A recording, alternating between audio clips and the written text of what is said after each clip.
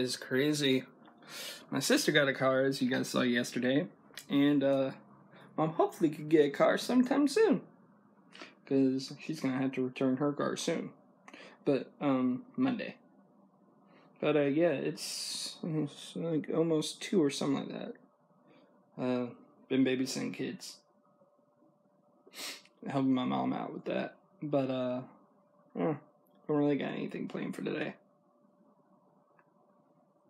But anyway, I'll um I'll tell you guys later. I'm gonna go down and get some lunch. So now it's time for dinner and to watch the rest of the documentary I was watching yesterday on the Oklahoma City bombing.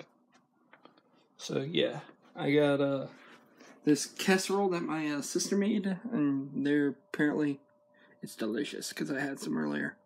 But apparently it has some Doritos in it, and some chicken, and some tomatoes, and other stuff, and it's delicious.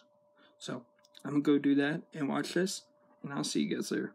So I finished the documentary, and then I watched uh, the rest of some that I forgot that I was watching on the KKK.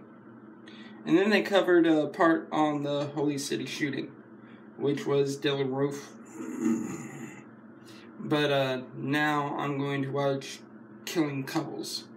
Or Couple Killers, whatever. Um, Been in this whole thing. Don't, don't ask me, it's kind of creepy, okay? But now I'm going to film Thoughts from Throne.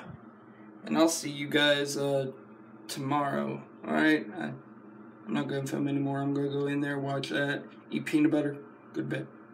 So.